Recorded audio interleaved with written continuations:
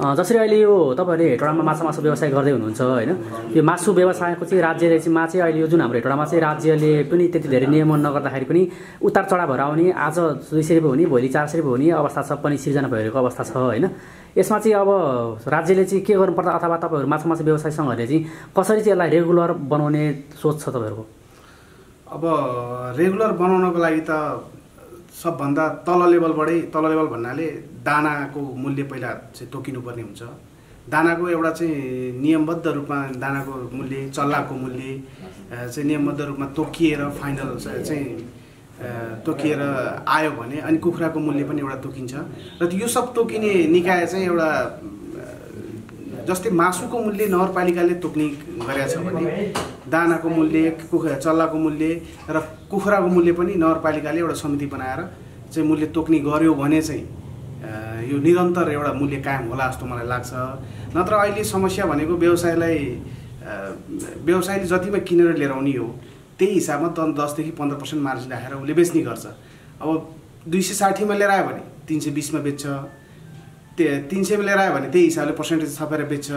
अब दुई सयमा लिएर आयो भने दुई सय बिसमा बेच्छ तर राज्यले दुई सय पचासमै बेच भन्न चाहिँ अलिकति उचित छैन अहिलेको सन्दर्भमा। यो चाहिँ अलिकति नियमबद्ध नभएको जस्तो लाग्छ मलाई।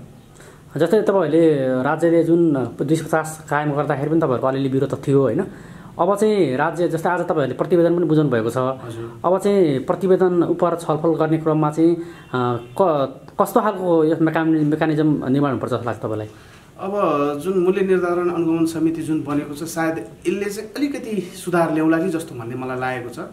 र यो प्रतिवेदनमा उहाँहरूले जुन हिसाबले अनुगमन गर्नुभएको छ उहाँहरूले सिर्फ किसानको रेट किसानको मूल्य एउटा रे रेट तोक्नु भएको छ किसान र व्य- व्य- व्यवसायको हिसाब व्यवसायका पुग्ने पर्सेन्टेज छुट्याएर तोक्नु भएको छ। तर त्यो बिचमा चाहिँ सप्लायर्स छ होलसेलर्सको मा मार्जिन छ व्यवसायको मार्जिन छ त्यो सब त्यहाँ चाहिँ उल्लेख छैन। त्यस कारणले हाम्रो यो चाहिँ प्रतिवेदनमा हामीले एउटा छुट्टै पनि प्रतिवेदन त्यसमा समावेश गरेको छौँ। यसो टेक्निकल कुराहरू के कति चाहिँ मार्जिन जान्छ कति के कति वेस्टेज जान्छ के कति मार्जिन राख्नुपर्ने हुन्छ भन्ने कुराहरू हामीले चाहिँ त्यो प्रतिवेदनमा हामीले पेस गरेर चाहिँ मूल्य निर्धा- निर्धारण अनुगमन समितिलाई हामीले बुझाएका छौँ। सायद त्यो दुइटै चाहिँ अध्ययन गरेर मूल्य निर्धारण गर्दा उचित होला। हस् धन्यवाद.